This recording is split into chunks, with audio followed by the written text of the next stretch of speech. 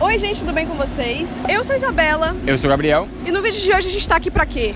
A gente está aqui, Isabela, para ver a inauguração da nova lente do Hollywood Studios, conhecida como Star Wars Galaxy's Edge. Essa lente é baseada nos filmes de Star Wars que todo mundo conhece, todo mundo ama, mas no vídeo de hoje não vou ser eu que vou representar. É o Gabriel, ele vai mostrar tudo pra vocês. Isso aí, vou tomar conta do canal hoje.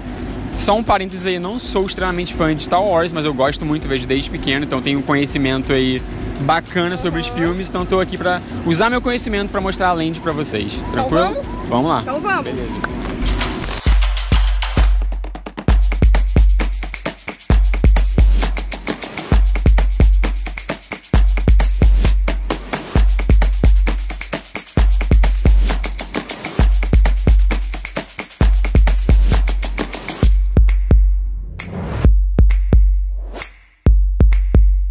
Então, a Land foi baseada no Black Spire Outpost, que era basicamente um posto comercial, um posto de rotas comerciais muito importante do planeta de Batu e que hoje está abandonado nas mãos dos criminosos, dos ladrões e dos pobres. E é por isso que a Land tem essa aparência tão velha, tão abandonada, porque ela realmente está. E como vocês podem ver aqui atrás, tem várias naves espalhadas pela Land inteira. São naves de pilotos que foram abandonadas, deixadas para trás e estão aqui pra gente tirar foto, claro. É, olha aqui. Backstage. Gente, aqui atrás de mim tá Millennium Falcon Smuggler's Run. É a primeira ride oficial que abriu aqui na Land. A próxima vai abrir só em dezembro. E ela é um simulador, ok? Que se passa dentro da Millennium Falcon, que é a nave do Han Solo.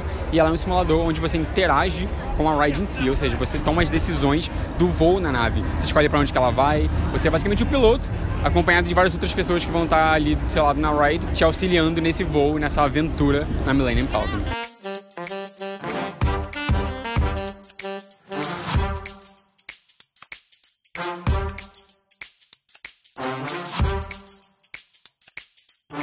Intrometendo aqui num vídeo que não é meu.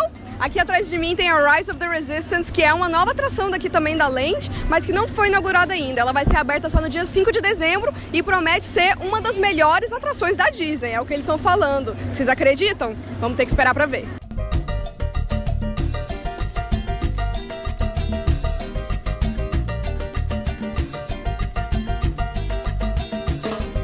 Galera, esse lugar aqui é chamado de The Market, ou o mercado, e é como se fosse uma feira de rua clandestina. Aqui tem diversas lojinhas onde você pode comprar roupa, brinquedo, uniforme Jedi, animais de pelúcia do universo de Star Wars, e o ambiente em si é bem rico de história, né, sobre o mundo de Batu, e é muito bonito. Dois dos restaurantes principais da Land são o Ronto Roasters e o Docking Bay 7.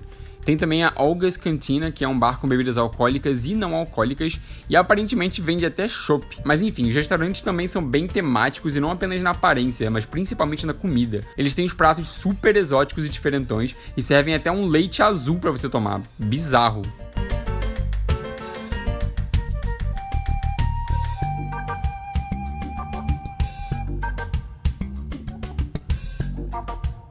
Último, mais ou menos importante, temos duas atrações nessa land maravilhosa de Star Wars, que na verdade são lojinhas disfarçadas. A primeira delas é a Droid Depot, é lá que você pode montar o seu próprio robozinho, o seu próprio droid. Você pode escolher a personalidade dele, como que vai ser a aparência, e no final dessa brincadeira toda você desembolsa 99 dólares mais taxas, e gente, tinha muita gente comprando. A segunda lojinha tem a mesma ideia da primeira, é também de você montar a sua própria coisa, e dessa vez você monta o seu próprio sabre de luz.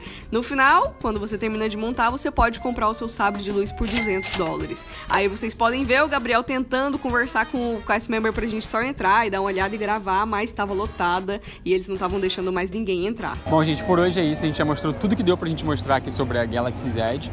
E do meu ponto de vista, de um fã, uma pessoa que gosta, eu achei que tá muito legal, tá muito bacana. A, o- a temática de Star Wars ficou, bem muito, representada. ficou muito bem representado, ficou muito legal. Cara, é muito doido você ficar vendo os personagens passando, indo e vindo. Casualmente, os Stormtroopers, assim, você fica, Né? véi. Nem parece o que é que, é Disney. isso? Não parece que é Disney. parece que você realmente tá no filme de Star Wars. O que, que você achou?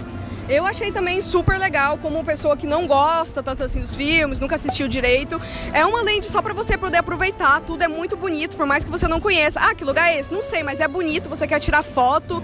Ah, tem personagem andando o tempo todo, tem nave pra você tirar foto, tem um monte de coisa pra você fazer. Por mais que até agora só tenha uma atração, dá pra você super se divertir aqui sem ter que realmente pegar a fila pra ir nos brinquedos. Inclusive, parece que é mais legal andar do que realmente ficar duas horas na fila esperando. E tem muito restaurante com comida exótica aqui. É, comida Eles super criaram criaram umas comidas bem diferentes pra realmente representar essa questão de um planeta diferente. Muito ah, legal de ter. Uma coisa que a gente não falou.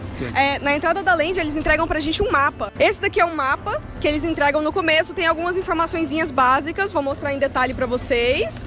Nele, além do mapinha com os lugares numerados, você pode encontrar do lado uma descrição e também tem um negócio muito diferente que é o próprio alfabeto deles. Tem ali no mapa a tradução de cada letrinha e você pode ler os símbolos nas atrações e descobrir o que está escrito. É, porque pela área aqui, pela região, você realmente consegue encontrar várias placas e várias línguas diferentes, né? Então. Escrito numa língua que você não é entende. uma Então, língua tipo do planeta. Então É. aqui tem a traduçãozinha pra você realmente poder olhar e falar, ah, o que significa isso? Deixa eu ver. a gente gostou muito de poder mostrar essa nova lente pra vocês e de poder mostrar a nossa experiência Ah, aqui. eu não gostei muito de ter vindo, não, não. não queria Tá bom. Gosto. Mas então é isso, não se esqueça de se inscrever aqui embaixo, deixar o like no vídeo e deixar também os comentários falando o que, que você achou. E tchau! Até o Até próximo o vídeo. próximo vídeo. Aí, gente, do nada a personagem do filme apareceu aqui do nosso lado, a gente finalizando o vídeo. Olha só que loucura que é.